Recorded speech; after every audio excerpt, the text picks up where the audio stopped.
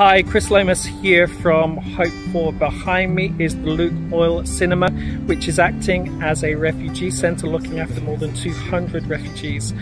Now, you may recall we visited this centre last week, and the administrator said that they were in desperate need of a fridge freezer as well as at least four washing machines to enable this centre to at least function at the most basic level. Now, with your support, we've been able to buy those items. They were delivered this morning and we just want to thank everyone who's equipped us to support this centre.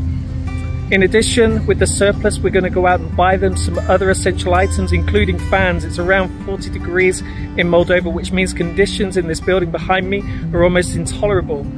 You guys make a difference. We can only do what we do because of you. So on behalf of everyone here, on behalf of everyone at Hope For, thank you so much. I will update you further.